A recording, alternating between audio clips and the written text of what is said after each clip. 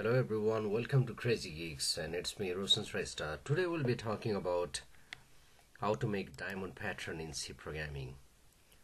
At first we'll be trying to make this particular upper part of the diamond pattern then we'll be writing the remaining stuff as well and eventually we'll be able to generate this particular pattern. Let's begin the process. In order to generate the diamond pattern I'll be opting for nested for loop. Uh, you can try with any of the available loops.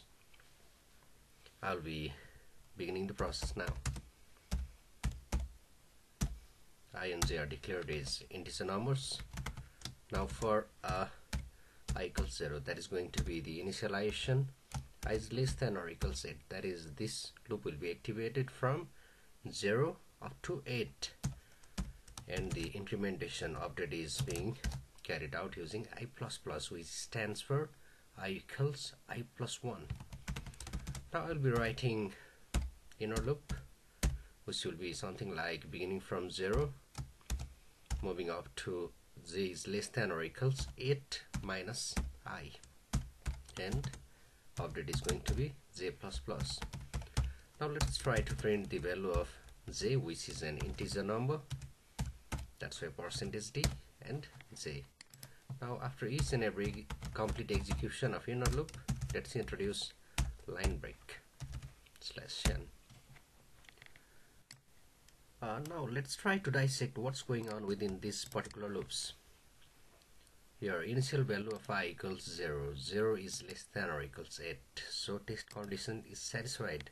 So the program flow will enter here within inner loop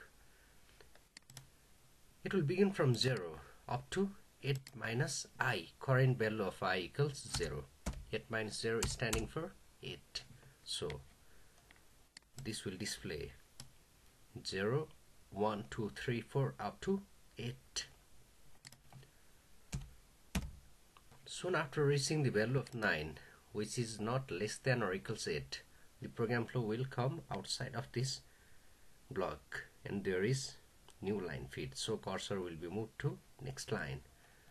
Now I is being incremented from 0 to 1 1 is less than or equals 8 again this condition is being satisfied. So now it will enter inner loop and will begin the process from 0 up to 8 minus 1 that is 0 to 7 now the output is going to be 0 1 2 3 4 up to 7 let's build and run this particular application cool this part resembles one side of the diamond this side. So we are on track. Now let's populate some more stuffs. I'll be writing another loop for that I am declaring variable k.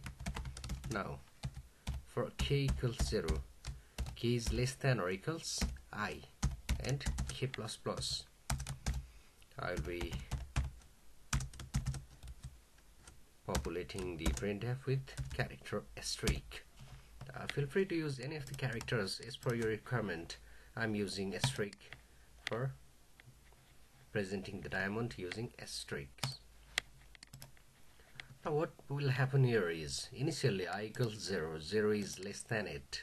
This condition is satisfied. Your output will be 0 up to 8. Now on this part, k will begin from 0 up to current value of i which is 0. 0 up to 0 that is there will be one asterisk. This one asterisk. Now on next part there is new line feed cursor cursor will be moved to next line. Then new value of i equals 1 1 is less than 8 again from 0 up to 8 minus 1 7 0 to 7 current value of i is 1 0 to 1 there will be presence of two asterisks and so on. Uh, 0 to 1 two asterisks right. Uh, let's try to build and run this particular application Awesome. Up to this point, we have successfully built the upper part of the diamond pattern. Now our task will be to invert this particular shape. whose concatenation will provide us the complete diamond pattern for that I'll be copying this block and placing it here now the major task will be to invert this particular logic this particular logic provides one asterisk at the top but we'll be needing eight asterisk here. For that what we can do is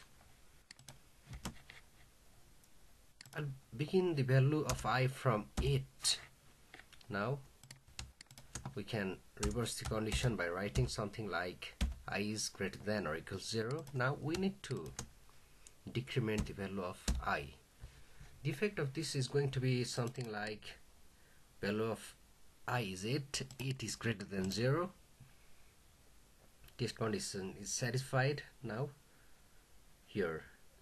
From 0 to 8 there will be presence of 8 asterisks. And on next run there is going to be 7 from 0 up to 7 uh, now let's build and run. Awesome. This is what appears like the diamond pattern. And just to be clear uh, when we copied and pasted this particular block only thing we have changed here is this particular outermost for loop. All other inner loops are left as it is earlier in the case. Uh, let's build and run. This is our output. Now I don't need to display these particular values. I've displayed it just for the demonstration purpose so that you guys will be able to understand the basic working mechanism. Now I'll be removing it and presenting normal white space. Now let's build and run. This is clear. We have to carry out the similar process on lower part as well. Now let's compile and run. Awesome. This is what appears like the diamond pattern. Okay guys uh, this is how we make diamond pattern using C programming. Uh, this is the implementation of nested for loop. This is our outermost loop and these are our inner loops.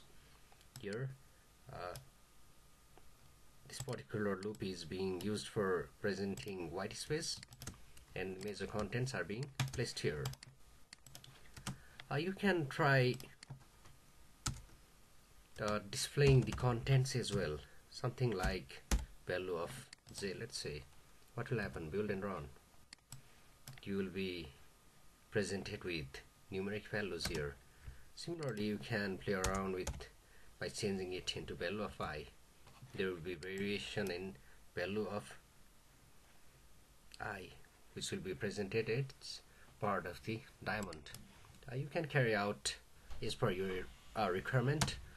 I really hope uh, this one was really helpful for understanding of how diamond problem that is uh, how diamond patterns are being created using C programming. I'll be catching you guys in next video with some more interesting stuffs before signing out do not forget to like share and subscribe crazy geeks. Have a good time ahead. Thank you very